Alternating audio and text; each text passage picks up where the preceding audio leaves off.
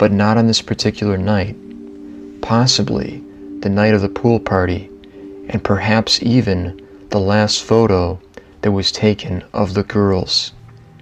And in my opinion, this is a red flag because, at least on the surface of things, Jennifer Ertman should be having a great time right now. She's spending time with her friend Elizabeth. The two of them are going to go hang out with Gina Escamilla later on in the evening. You would think that this would be a pretty exciting night for Jennifer, but she doesn't look particularly happy in this photograph, and it almost feels like something might be on her mind. It makes me wonder if it has something to do with the fact that she's going to have to walk back home by herself later that night.